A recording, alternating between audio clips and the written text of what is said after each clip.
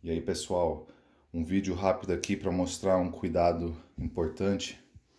É, fiz um treino e eu estava indo meio rápido e fui puxar o ferrolho para trás já com mais velocidade e eu deixei meu dedo mais para baixo e beliscou bem aqui.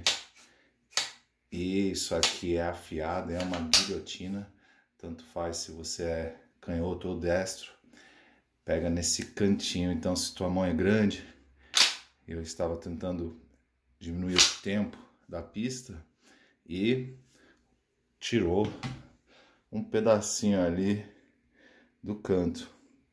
Isso aqui não foi nada, mas eu acho que pode machucar mais dependendo da força que for colocado quando puxar.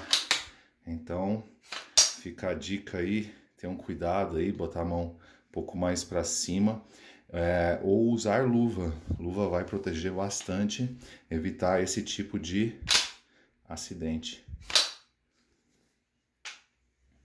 Valeu, galera!